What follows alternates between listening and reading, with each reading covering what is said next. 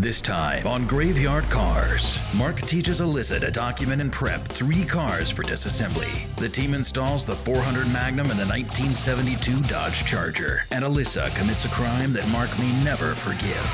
On this episode of Graveyard Carz.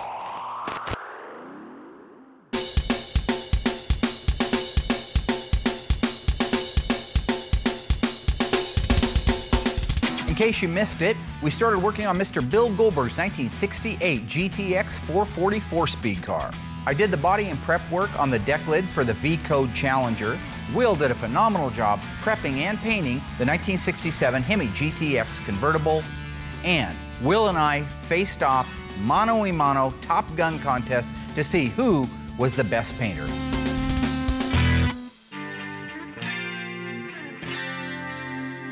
This is the time of year that we always go out and start looking for our new projects for next season and next year. I sent Mike over to Bend to pick up our next one, which is a 1970 Plymouth Roadrunner 383 four-speed lemon twist yellow.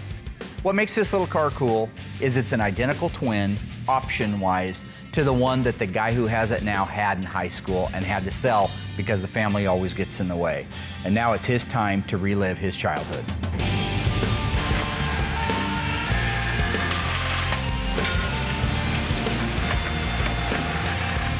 As soon as Mike gets back with the Roadrunner, uh, I want to get Allysa, move the car inside, and do an inventory with her. This is a great opportunity for her to learn the VIN numbers, what should match, what shouldn't match, what a good car is to start with, and what isn't a good car. So these are the things I'm doing to acclimate her with the business.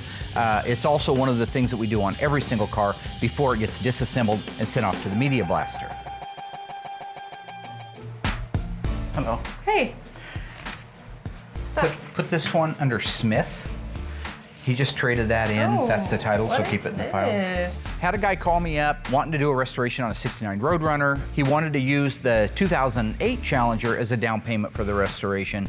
Uh, they're cool cars, I love them, uh, so I'm more than happy to make that deal go together. This particular car has 697 original one owner miles. So the guy that has the Roadrunner that we're now restoring, he bought that car brand new. It's never seen rain. It's never been driven in the rain. It's always been garage kept. It is a mint condition 2008 Challenger SRT8. Oh my gosh. Wait, so. traded- Hold on. Wait, so whose car is this? It's, it's mine now. It's your car? This is here? I didn't see it get delivered. No, it's out on the side of the building. I can't believe we have this. This is beautiful. Uh huh. Isn't that gorgeous? Hemi. Uh huh. Brand It's an new. SRT8. it's it's a nice car. Let's go drive it. Come on. Hey, no, seriously, you got to quit smoking that stuff. It's gonna kill you. What do you. My dad's let me drive his car before, but it's not a Hemi. So, and I never really, really drove it. I just kind of run errands around for him. So I would love to drive a car that's this fast. Just register the car. You ain't driving it. Have a nice day. What we're doing right now is uh, this is Darren's old car. Um, once he left the show, he wanted to sell his car. I found a buyer for it. Uh, the buyer's on the East Coast. He's motivated to actually finish the car. So um, that's what we're doing right now is getting ready to do the disassembly on it. Uh, the motor's rebuilt, but we've got to take it over to the engine stand, disassemble it because it's probably got contaminants in it, tear it down, clean it. Uh, but a lot of work has been done drivetrain wise, so we're going to preserve that. But the body really needs to be restripped and gone back through again. So that's what we're getting ready to do right now. Get a little spillage going here. All right. Figure while the radiator's draining, I'll uh, get as much stuff off of there as I can and then pop it out of there. Mike's working on the control arms and won't take us too long. We'll have this baby all blown apart here.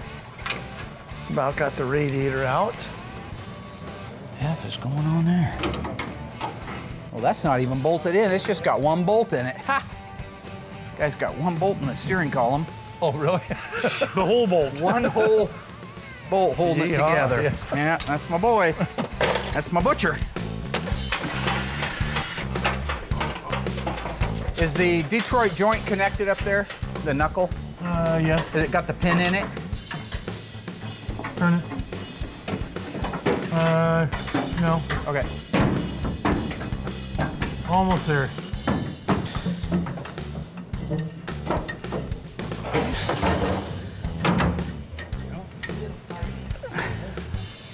There you go, sir.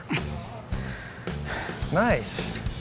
Uh, this, this- it's a really cool car. I mean, no matter how you slice it, this is one of 916 1970 Dodge Challenger RTs. It's a 440, 375 horse U code four barrel car, four speed, 354 Dana, which is a A33 track pack.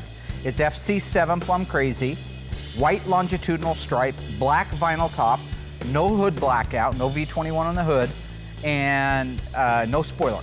So the car's going to be stunning when it's finished. It's going to be a lot like our uh, purple six-pack car as far as just in-your-face right now colors. I, I'm actually looking forward to seeing it, and really, I'm looking very forward to seeing it done. It's done its time in purgatory. Its previous owner didn't give enough of a care about it to put it together and, and spend the time and the money it takes to do it. So now that the new owner has it, I'm excited to be a part of the build. It'll go really quick, and it'll be a nice car to see back on the road again. Oh, Okie dokie. Good. Come Yep. down.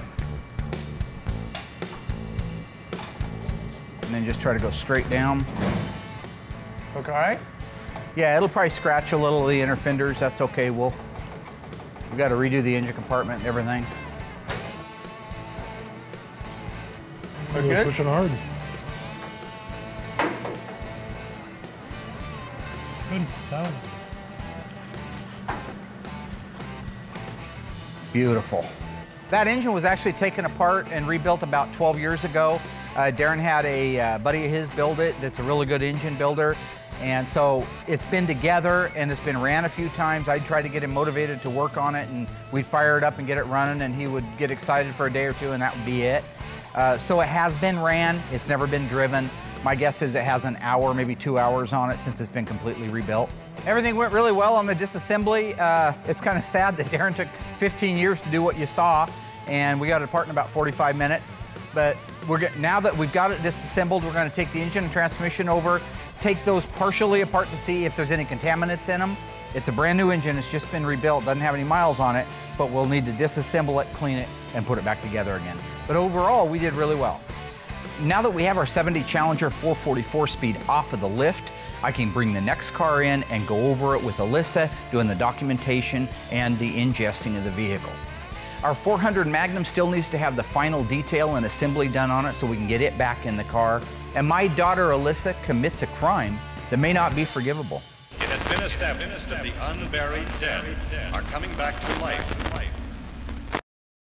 They're coming to get you, Barbara. I would be doing this whether Allysa was here or nobody was here because this is what I do as I inventory the cars. For me to be able to report back to the owner, yes, it's the numbers matching engine like you suspected. Yes, it's the numbers matching transmissions. Yes, this car has been wrecked here or no, it's not, or you misrepresented it. These are all the things that I need to know. And secondly, my insurance company needs to know. Hey, are you busy? Well, no. What are you up to?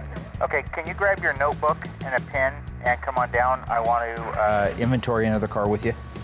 Oh yeah, that'd be awesome. I'll grab it. Hey. Hey.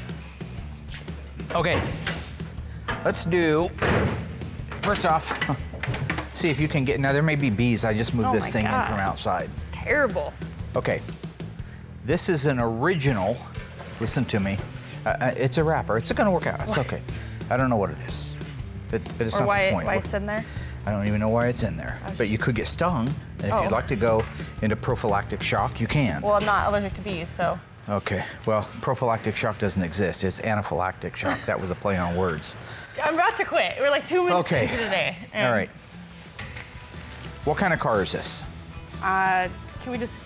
I don't know, Dad. What is this? Honey, come on, you It's a gotta fo- GTX. okay, okay, it's a GTX because it says it right there on the Yes. side, right? Okay, what year is it? 72.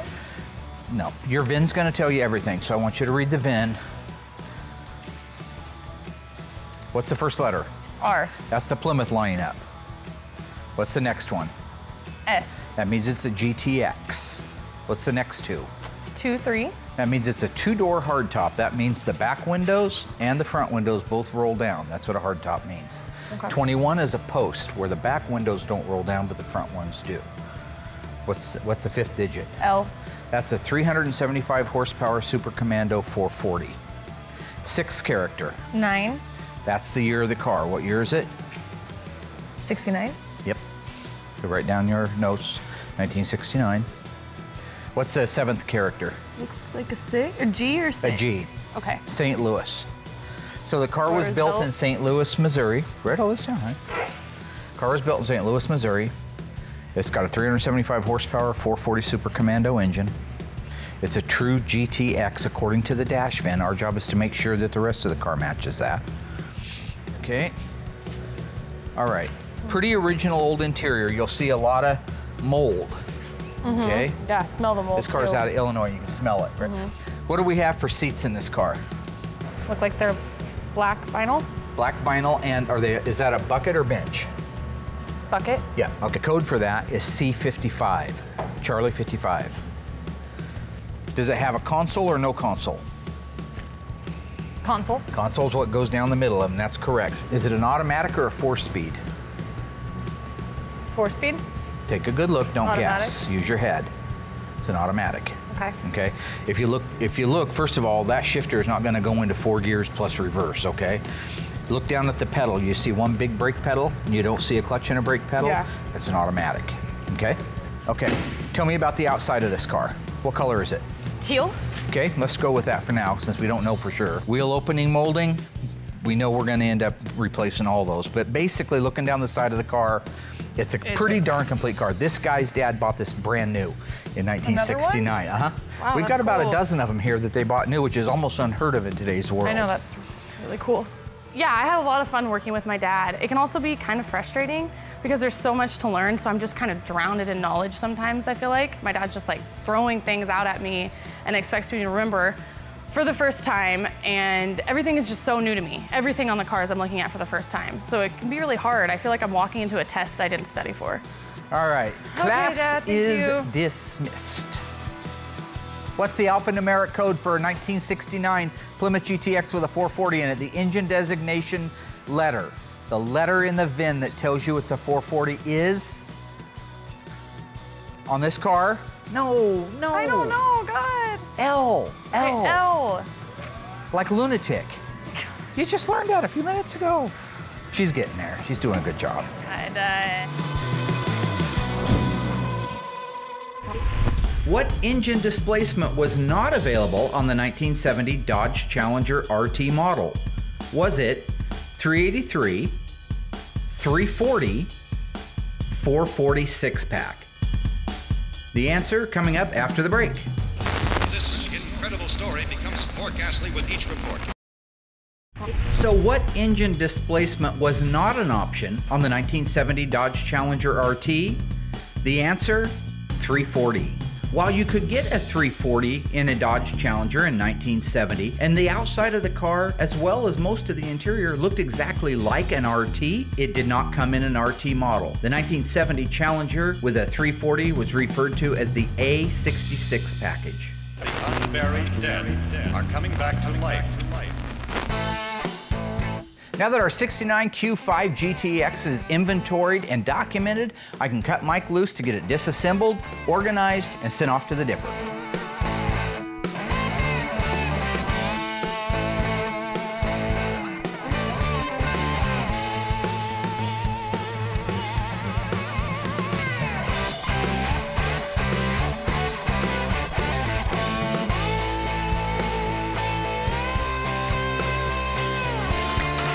Right, fall off there, you stupid piece of what the f- going on?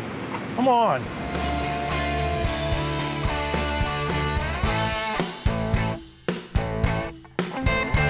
Mike and I are working on doing the final detailing and assembling of the 400 Magnum so we can get it prepped and ready to go back in our 72 Charger SE. The 72 Charger is not exactly an OEM car. The owner had some pieces and parts for the suspension powder coated, so we had to unpowder coat those and detail them. There are other things on the car that are not OEM, but these are at the owner's request. These are the pieces and the parts that he wanted on his car. All right, you want to uh, bring that over here? Yeah, let's do it now. It's just gonna get too heavy after a while. I mean, I can do my end, but you always Yeah, you should. Uh, you definitely have that to worry about. Hang on, hang on. Gosh, boy, you're really strong, Mark. Is that the, some sumo thing, or what is it? Look at that. Michael Von Doodle.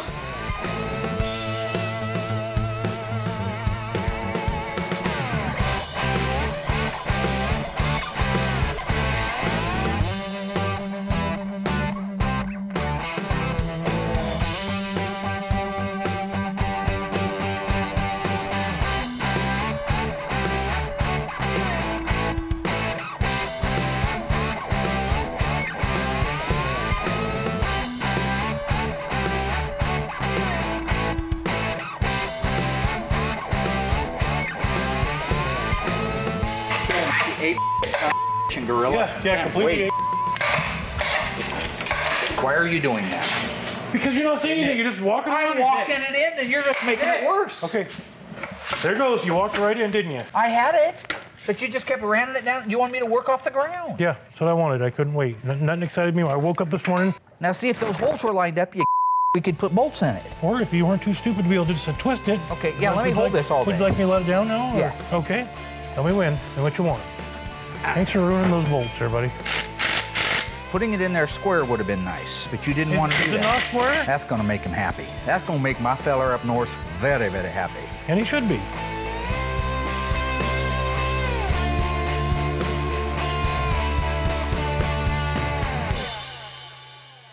Mike and Dave are doing the final provisions to be able to install the 400 Magnum in the SE Charger. While they're doing that, I'm gonna work with Allysa on decoding our 69 440 GTX. So you've done enough of these now. I want you to start this one on your own. So you start with writing down the VIN and then walk the car, inventory it, and tell me what's missing. We'll just start with that. I'm getting ready with our little book. These little pocket books we get from Galen Govier. He's uh, been printing these for years, called little white books. Anyway, uh, it'll have information in it that'll tell you exactly what that VIN represents, what size engine it is based on the VIN, where the car was built based on the VIN. And I want her to start learning that more rather than me just coming out and rattling off, hey, this is a XXXXXXX. This way she can look it up and it'll mean more to her. I think it'll stay with her more. So as soon as she's done with a basic walk around, then we can do that. So the first one is gonna represent the car line, which is the Plymouth. Why is there a heart over the eye on Hemi? Hemi's a man thing. Hemi, Hemi is punch people in the face. Hemi is kick you in the nuts, and, and while you're going down, you sucker punch him in the chin. That's a Hemi. It's not a heart. Go on. So then the second digit is gonna be the price class, which, Which is is- medium, 2-1, what does that mean? body type, and it's a two-door coupe. Two-door coupe. What's the difference between a two-door coupe and a two-door hardtop? We've done this several times. On a hardtop, the back window rolls down, and on a coupe, it pops out. Very good. See, we're getting there. The next one's gonna be engine, Which is what code? J. Okay. And what does a J represent? 1969, what does a J represent? Uh, 426 Hemi, What year was the car built? 69, Where was it built? St. Louis, Missouri. Very nice. So you decoded that all by yourself. That's awesome. Yep. That's awesome. Allysa and I are just about done inventorying the 69 Hemi Roadrunner. A few little things. I think that the owner thought the transmission was the original numbers matching, which it's not. It's not even close. Tell me what that VIN reads. 7C, right? There you go. 7C 195079. And that matches the transmission, right? The engine and transmission are out of a 1977 model full-size Chrysler. 79, yep. And I don't know what assembly plant C is, but it's none of them that count. Now the front, for some reason, is missing the, the torque boxes. Why would that be? There's no front torque boxes or, or subframe connectors that are mandatory on the Hemi car, so it could have been overlooked at the factory. Kind of an interesting thing, because the rest of it sure looks right. Uh, the only thing we really have left is we had to take the seats out of it so we could get the trunk open because we couldn't find the keys. We're gonna check the body numbers on the trunk lip on the driver's side.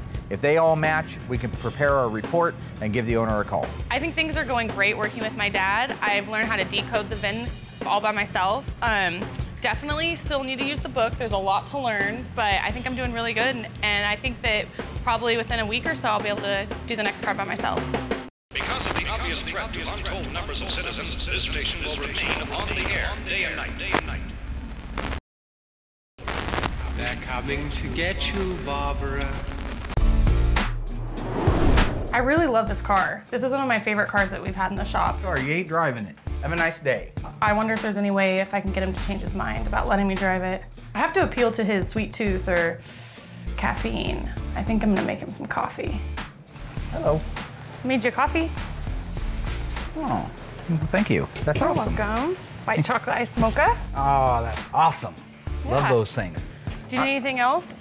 Do you want any water or nasal Uh, spray or? Oh, I get it. What? I get it. You're not driving the car. What do you mean? N- You don't do nice stuff like that for no I'm reason just- for me. You always keep I'm me just down, trying to make your down. day easier. No, no. So I'm just trying to help out, see if there's You're anything not else gonna I can get do. it. No? No. So, Well, no, I remember what you done to the last car. You're not going to drive again. fine. Have a good day, Dad. I have a great day knowing you're not out tearing up my brand new car. Have a nice trip, Mario. This incredible story becomes more ghastly with each report. The unburied dead are coming back to life. You want to come out and help? Sure. What are we doing? Okay, grab a pin.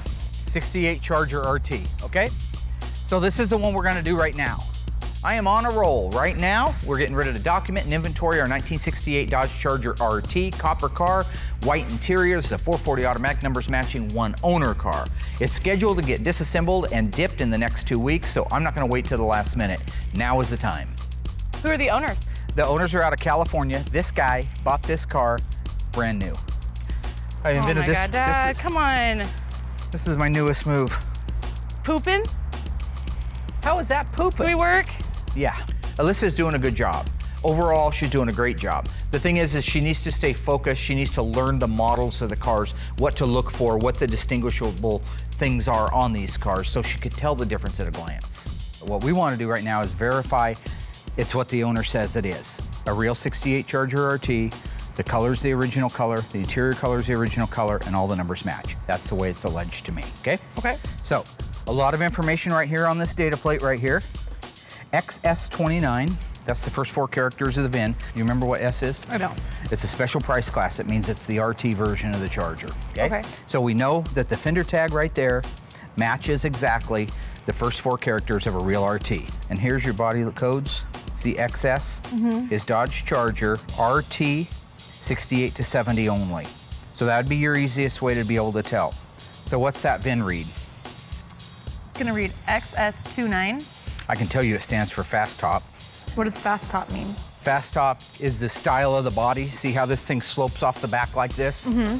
That's the that's what they called this particular style of car was a fast top. See how the windows incest Yeah. inset in it? Not incest. Yeah, not to be confused.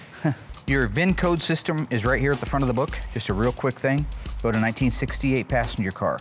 First digit is an X, mm-hmm. means it's a Dodge, right? S means special. Special means RT on these cars, okay? Okay. 29, two-door sports hardtop or fast top, Okay. okay? The fifth digit of the VIN on this one should be an L. One four barrel or two. One. They only made them with one four barrel, okay?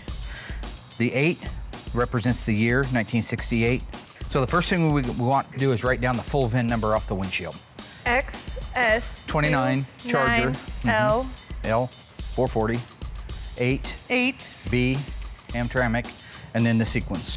285963. In 1969, the full VIN was on the fender tag. It matched the windshield, it matched the uh, trunk lip in the back, and it matched the radiator support. In 1968, they used the shipping order numbers on the radiator support and the trunk lip, and it only appears to one section of this car right here. 68 and older, they didn't put the VINs on the radiator support, they put the shipping order number. Okay. The shipping order number is right here on the VIN tag. It's the last series of numbers right Zero here. seven seven eight three four. So this and this belong together. There's no ifs, ands, or buts about it. Now, the question is, did somebody take this radiator support out of another car, cut it out and weld it in here, put the two screws into it that make it look like it's an RT, and all of a sudden they've got an RT out of a 318 car? My guess is absolutely not, for one, original owner.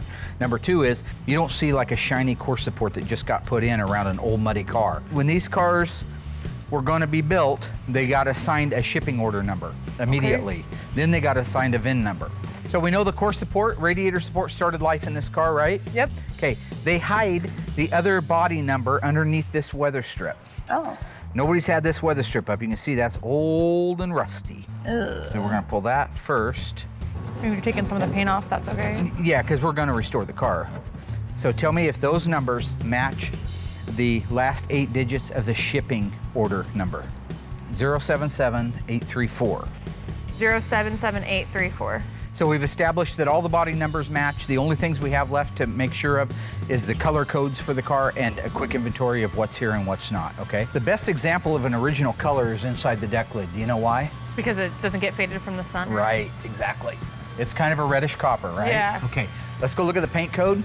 What are those three letters right there? MM1. MM1. Turbine bronze metallic. The M is the code that you're looking for. Turbine bronze. That's probably turbine bronze. Let's look at the interior, the trim, the C6W. That's your trim code. That's going to tell you if it's a premium interior or not a premium interior and what colors it is, okay? It's also going to tell you if it's bucket or bench. First letter C means it's a Charger interior. That's good because we've got a Charger, right? And then W will be for white, white with black trim. Make sure you have a white interior with some black trim. Dash is black. Dash is black, steering looks- column's black, console's black, like carpet's carpet black. black. but the seats in the interior are white. 1968 only transverse, that means it goes around the back of the car. Sport stripe, white. So it is coded for a bumblebee stripe. I'm really glad that everything on the car is as correct as the owner alleged it was when it got here. It's a one owner car, so it's nice to find out that there's no surprises. Educationally speaking, I can almost guarantee you that engine either started life in that car or it was put in within the first year. My guess is it's the original numbers matching engine, but until that engine's out on the ground and we can clean it, we can't be sure. Visual inspection is done on the outside of the car. We're gonna raise it up in the air and do a visual inspection of the underside of the car. It's a disc brake car. Ask him, did, I, did he order disc brakes? Did he want disc brakes? Because this is some of the first era stuff that get disc brakes on the Mopars. How you can tell if it's a sure grip rear end or a positive traction rear end. Chrysler calls it a sure grip. Okay. Okay. How can you tell? When you spin the wheel, the other wheel goes the same direction. If this was a one-legger and it wasn't a sure grip, that wheel over there would go the opposite direction. So it does have a sure grip in it. Anyway, just looking visually, got your belt moldings, charger moldings, back glass and reveal moldings, your flip top gas cap, which by the way in 1970 red fuel and 68 was just plain like that. Engine's in place. Looks like e- this is very original. Most of the time by now, somebody's yanked that air cleaner off of there, thrown it away, and put a Mickey Mouse chrome one on there. That one's still got the original one. It's got the original pad underneath the hood for the installation. Front bumper, grill, it's actually in good shape. Bumper needs to be re-chromed, but for the most part, everything is there and in shape.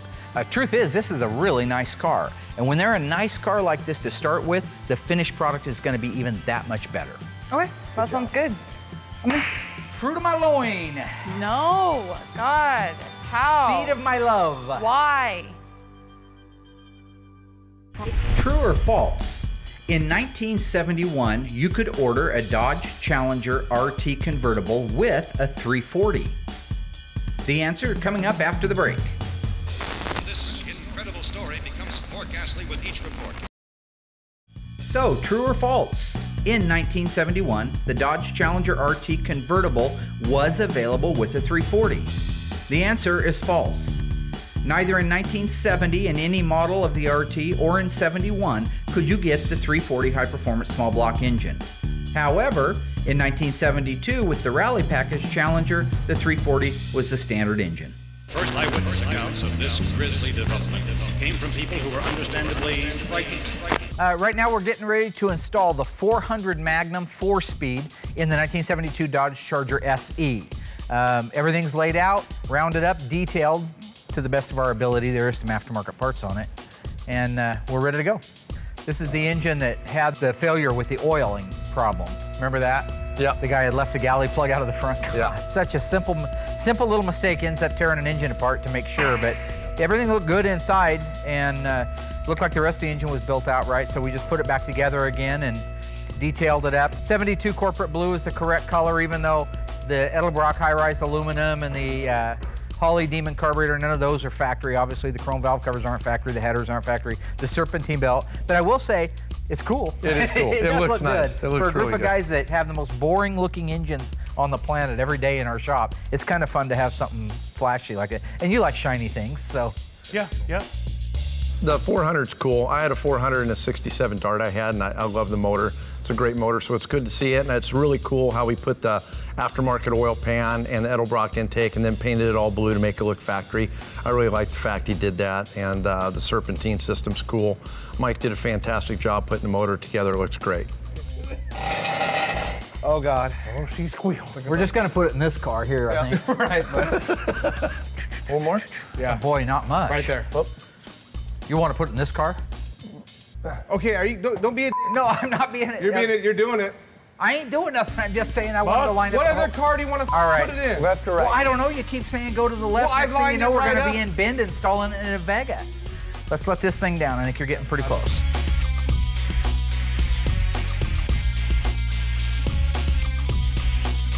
now we got the uh, front end in place. The rear K-member bolts aren't in. I should have put the rear end in first.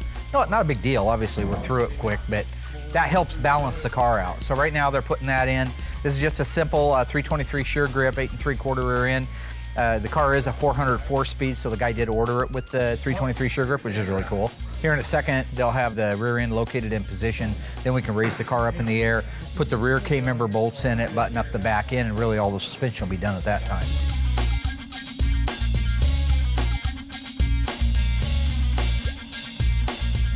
All right, boss, ready for your plate there. Right there.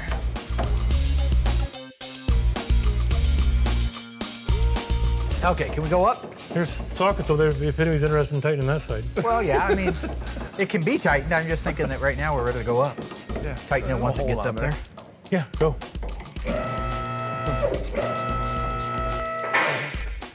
Not too bad, going together pretty smooth. Because Mike's back there doing it.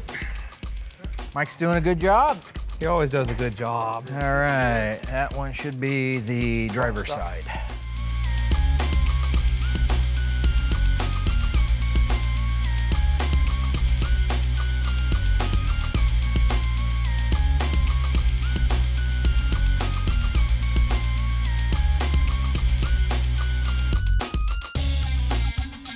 Uh, working with uh, Mike and Will, uh, we're- we're a great team. We, with Mark, and we just get it knocked out quick.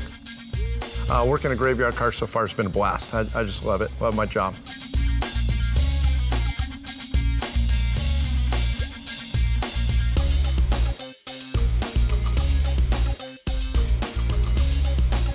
Everything went really well. Uh, we got the 400 Magnum and the 400 installed in the 1972 Dodge Charger.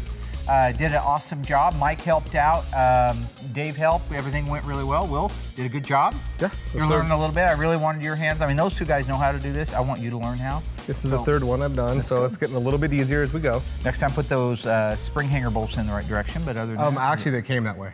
That had nothing to do with me. from the factory. Well, whoever built it out. You're gonna put that stuff on me? No, I was just saying if you notice something like that, you should say something. Yeah, I didn't notice it because I don't have enough experience in it. But I didn't put them in. Fair enough. Oublie boo boo chez abesois, c'est soir. Isn't that like a song? It's a music, yeah. Oh, is that all you know? Yeah. Well, I don't know. I don't even know if those are the words. Okay. But it sounds like ubu boo boo say abesois, c'est soir. Which I think is French for we should go get something to eat. That sounds good.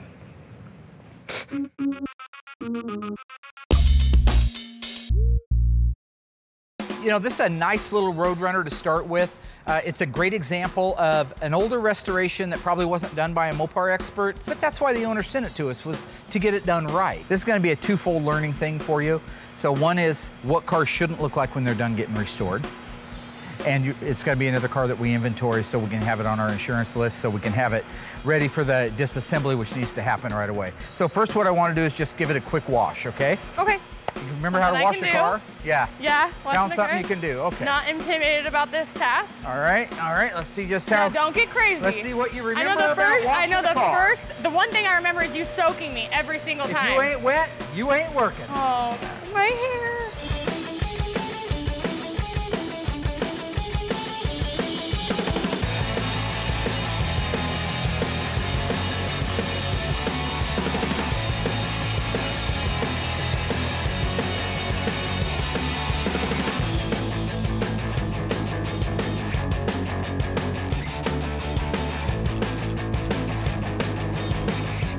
Right now, I'm getting ready to move the Roadrunner around. Uh, we'll do a visual inspection on the ground, then it raised up on the BendPak, do a visual underneath, check the numbers on it, validate it so I can communicate with the customer what we found.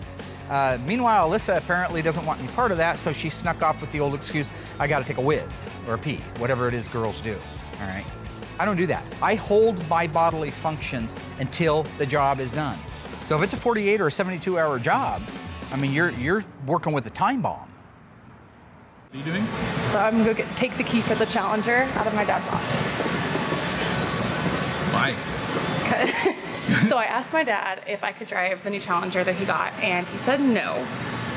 So I'm gonna take it anyways and see, see how it goes. Because of the obvious threat to untold numbers of citizens, this station will remain on the air day and night. Ghastly report. So I asked my dad if I could drive the new Challenger that he got, and he said no. So I'm gonna take it anyways and see, see how it goes.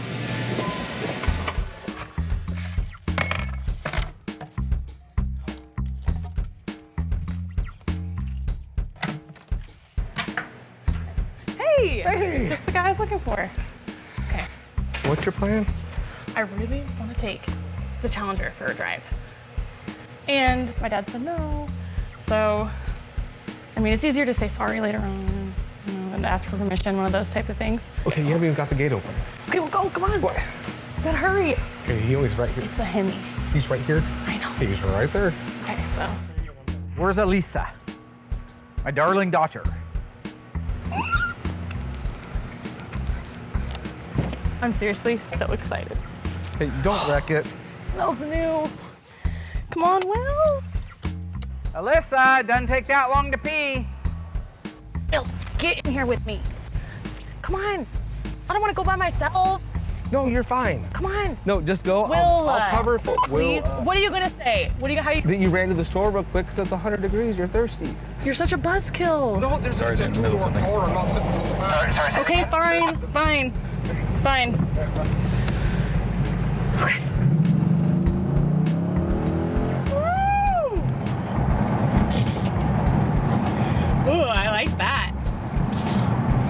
Hello? Oh, excuse me. Are you peeing? She's not even in there. Where's Allysa? She took off in your car. In my car? Oh, the, or- the orange Challenger. No, she didn't. Yes, she did. She better not have drove it at all. She's in it down the street. The car's got 697 miles on it. Okay, well, And I, she asked me the other day, and I said, not on your life are you driving that car.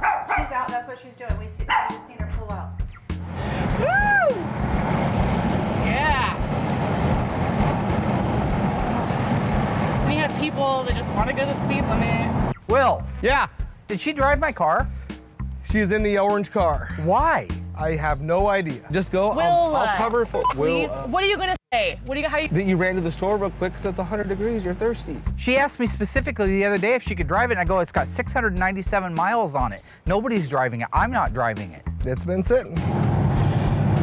Didn't think about going back. That's a little scary of a thought. but this is exciting.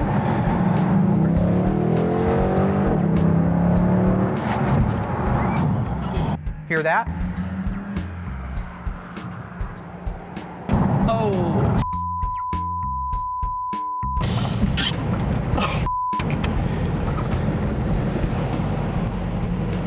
Hey, you know and well I told you not to drive that car.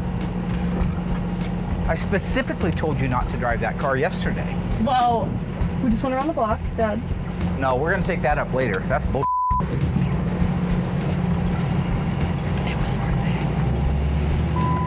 She asked me and I said no. The car's got 697 miles. It's a one owner. Go steal somebody's new car and see how they react. They might not be real happy about it. Oh, do I have to go and face them right now? Maybe later? I don't know. Can I go home for the day? I was really shocked at how upset my dad was. I mean, I can understand a little bit that, you know, he didn't know I was driving the car, but I felt like he could be more understanding at the fact that I work around these really awesome vehicles all the time, and a lot of times they're not, you know, drivable for a long period of time. And here's a car out there that's beautiful, really nice, and brand new. And of course, I couldn't, you know, go without driving it while it was here. Dad, I just, you know, who wouldn't want to drive a cool car? You asked me and I told you no.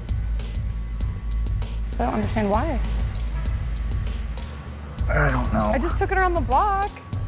I'm mad. She defied my orders. She went behind my back.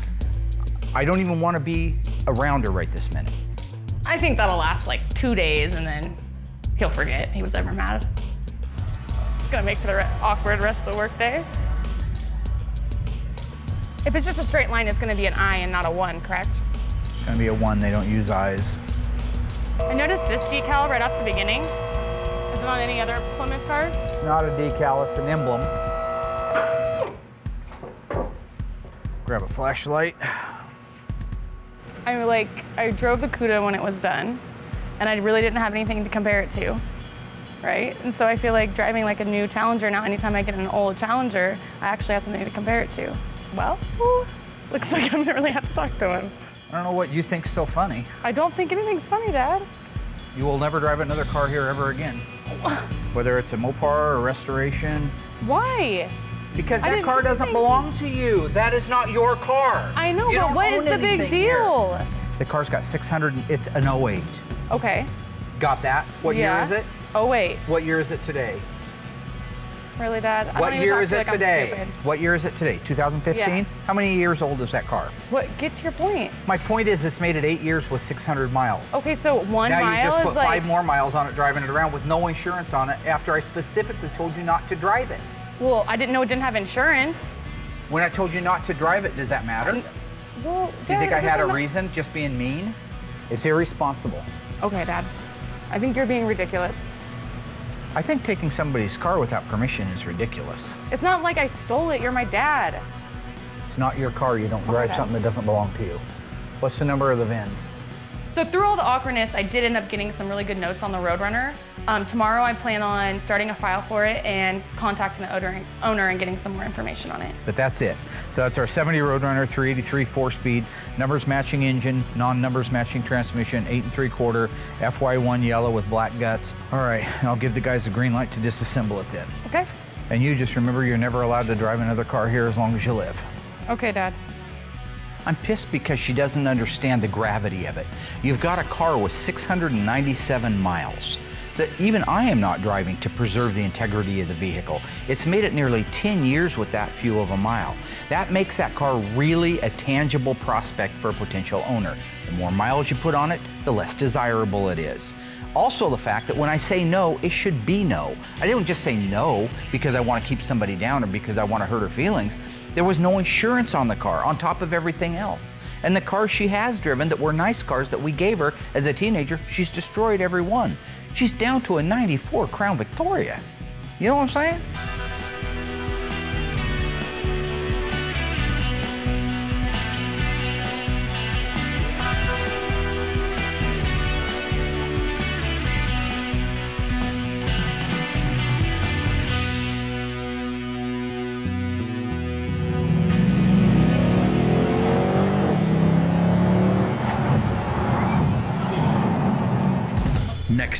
On Graveyard Carz, Master of Mopar Tony D'Agostino comes out to assist Mark at the appraisal of two ultra rare Mopars. And Mark shows off just a few of the cars that will be restored in the upcoming years on the next episode of Graveyard Carz.